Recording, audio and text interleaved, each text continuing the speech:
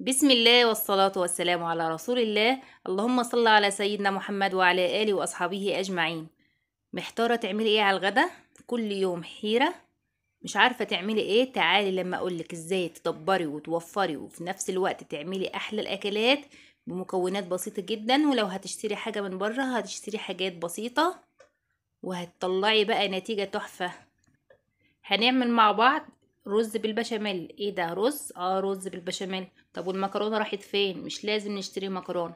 عندك رز عندك شوية لبن عندك قطعه دجاج صغيرة. تعالوا بقى نعمل أحلى رز بالبشاميل. أكلة كده متكاملة.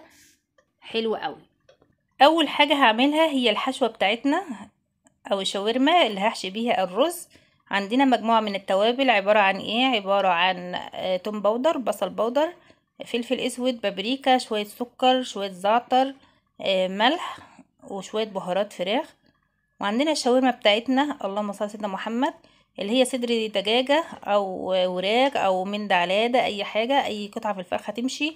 لو عندك ربع فرخة واحد هيمشي ويعمل لك صينية محترمة حلوة قوي. هنبتدي نحط جميع التوابل على الفراخ بتاعتنا ونحط شوية خل وبس كده هنتبل الحاجات دي كلها مع بعضها نحطها في التلاجة كده حوالي ساعتين أو حاجة مستعجلة حوالي ساعة ونص ساعة في الفريزر كده شوية قبل ما تتجمد تطلعيها تشرب من التتبيلة. السكر ده هيخليها تشرب بالتتبيلة بسرعة إن شاء الله تبقى طعمها جميل. تعالوا بقى بعد ما حطيتها في التلاجة شوية طلعتها حطيت شوية زيت في الطاسة. الزيت يقدح كده ويبقى حامي معايا يسخن حلو يعني. وأبتدي أنزل بالفراخ بتاعتنا. طبعا هكون مجهزة هنا بقى اللهم صل على سيدنا محمد بصل آه وفلفل ألوان. أنا عندي فلفل بس أخضر على حاجة بسيطة كده أحمر. فلفل ألوان كمان فلفل أخضر بس كمان وكمان بصل بصل حلوين كده. نزلت أنا على الزيت السخن بالشاورما بتاعتي اللي هي الفراخ. بعد ما شربت التتبيله حلوة قوي كده وبقى طعمها حلو في الفريزر أو في الثلاجه في الفريزر ده لو هت اللهم صل محمد لو هتغيبها نص ساعة بس أو ساعة بالكتير مش هتلحق تتجمد تطلعيها تاني. تمام؟ هنبتدي بقى نعمل في البشاميل. البشاميل اللي أنا هعمله هنا على البارد هنزل لكم فيديو برضو البشاميل لوحده عشان اللي حابب يعني يعرف البشاميل بس من غير الحاجات دي كلها اللهم صل على سيدنا محمد البشاميل ده بعمله لأي حاجة مكرونة بقى رز زي ما هعمل أي حاجة البشاميل اللي بعمله أنا هنا على البارد ما بحطش عليه سمنة كتير لأن طبعا بيبقى دسم قوي طيب أنا هعمل بشاميل إزاي؟ كل كوباية لبن بتحتاج كوباية كبيرة من الدقيق وهنعرف مع بعض دلوقتي المقادير بالظبط بس أشوف بس الشاورما الأول. اللهم صل على سيدنا محمد أهي غيرت لون واستوت كمان هبتدي اللي أنا أنزل عليها بالبصل والفلفل الألوان. طبعا مش هنحط ملح ولا فلفل ولا أي حاجة لأن الشاورما شاربه تتبيلها وحلوة قوي وكمان هت, هت يعني هتدي المكسوس الحلو بتاعها ده للبصل وللفلفل هيبقى طعمه حلو.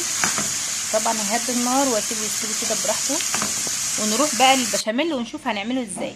عايزاكم بقى تركزوا في الطريقة بتاعتي في البشاميل طريقة حلوة قوي ومش يعني مش هتبقى دسمة معاكي هتحطي لكل كوباية لبن آه معلقة من الدقيق وتشوحيهم حلو كده على النار من غير سمنة من غير أي حاجة حاجة كده طاسة ولا حاجة وتشوحيهم كده لغاية لما ريحتهم تطلع.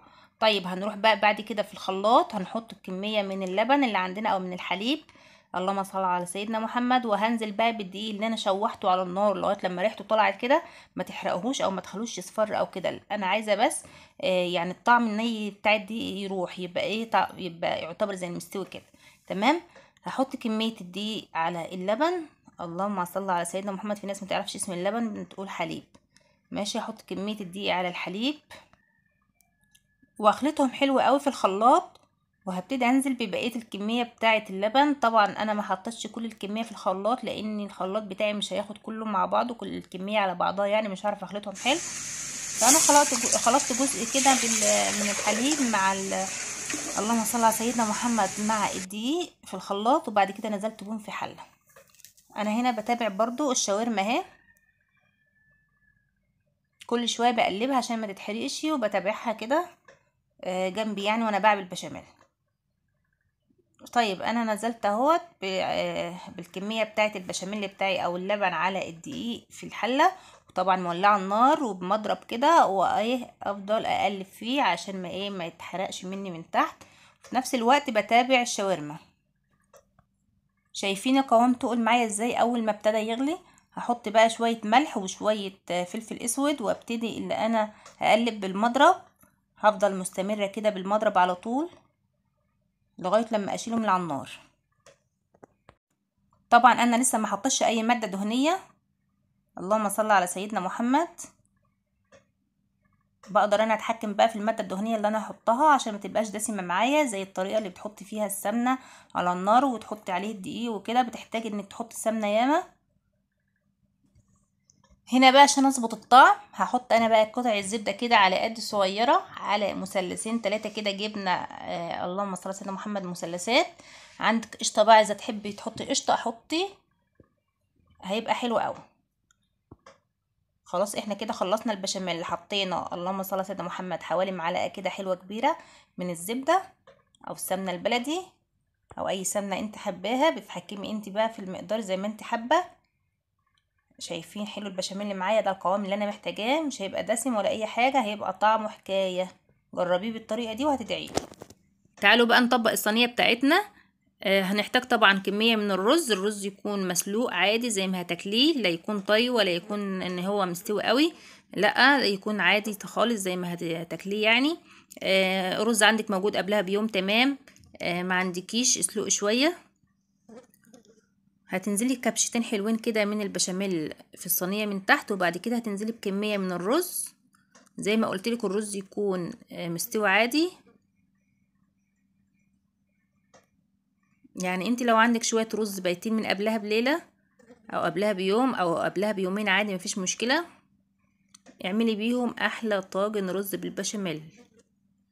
هنزل كمية كده أسويها على كمية البشاميل اللي أنا حطيتها. بعد ما سوينا الرز كده على البشاميل هنبتدي ننزل بكمية من الفراخ اللي إحنا سويناها أو الشاورما. شايفين شكلها حلو إزاي؟ طعمها جميل قوي هتخلوا الرز معاكي تحفة. هتنزلي بشوية كده أو الكمية اللي انت يعني عاملاها على قد الصينية. وهنزل بشوية رز كمان أفردهم عليها. مش حابة تحط الطبقة طبقة الرز التانية دي تمام حط البشاميل على طول. حطيت كمان طبقة رز وبعد كده حطيت البشاميل معلش الجزء ده قطع مني. البشاميل العادي خالص اللي إحنا عاملينه حطيته على الوش. اللهم صل على سيدنا محمد. حطي بقى جبنة موتزاريلا حطي صفار بيضة آه يعني تقلبي كده على على شوية بشاميل اللي على الوش صفار بيضة عشان يخليها لونها حلو. آه لو عندك جبنة موتزاريلا تمام. أي جبن تمام. آه بصي أي حاجة على الوش. قشطة بقى. يبقى قشطة يا معلم. شوية البشاميل وشوية الفراخ اللي أنا عملتهم شايفين عملوا صينيتين حلوين إزاي؟ هوريكم بقى الصينية دي بعد ما طلعت من الفرن شايفين اللون تحفة حلو قوي طبعا المنظر بيتكلم عن نفسه يعني مش محتاجه أقول لكم الطعم عامل إيه لأن طبعا شايفين الفراخ كانت حلوة إزاي. اللهم صل على سيدنا محمد والبشاميل. طبعا هيخلي الرز حلو قوي المنظر بجد بيتكلم عن نفسه. هنقطع برضو مع بعض قطعة كده ونشوفها من جوه عاملة إيه. ما شاء الله بسم الله ما شاء الله. يعني أكلة كده يعني ملوكي بصراحة. ملوكي ومن حاجات يعني موجودة عندنا في البيت. عندك شوية لبن عندك ربع فرخة بس. يعني الصينية اللي قدامكم دي ما خدتش ربع فرخة. لأن أنا عملت بصدر فرخة كمان صينية قد دي مرتين. صينية كبيرة. ولو عندك حتى رز بايت هينفع ويبقى تمام. شايفين أنا شلت أول قطعة بصراحة عيالي خدوها ومشوا كلوها بهنا والشفا شايفين بقى دي؟ شايفين القطعة طالعة ماسكة نفسها إزاي؟ بسم الله ما شاء الله. يعني أنا عايزة أقول لكم الصوص اللي نازل من الفراخ دي نازل على الرز مخلي طعمه خرافة غير البشاميل. حلو قوي عايزاكم تجربوها الوصفة دي. يلا بقى اللي تعجبها الوصفة تنزل تشترك. تفعل زر الجرس تختار الكل عشان يوصلكم مني كل فيديوهاتي الجديدة إن شاء الله بإذن الله. علشان شعارنا الجاي أفضل. وإن شاء الله بإذن الله كل وصفاتي الجاية هتعجبكم. مش هتندموا اللي أنتوا اشتركتوا معايا في القناة بإذن الله. مش هيجيلكوا كده اشعارات مني على الفاضي. كل حاجة كل وصفة بعملها بتفيدكم كتير. ومن هنا لغاية لما نتقابل في وصفة جديدة أسيبكم في رعاية الله وأمنه. والسلام عليكم ورحمة الله وبركاته.